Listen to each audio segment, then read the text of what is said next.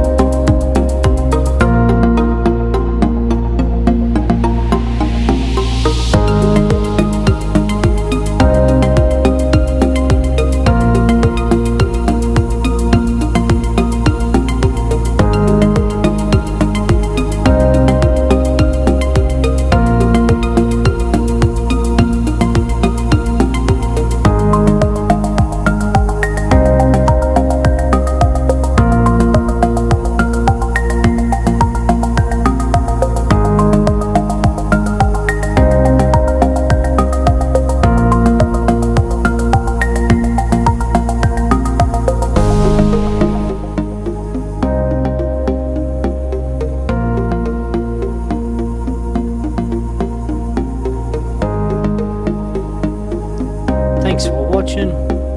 Don't forget to subscribe. You have a great day.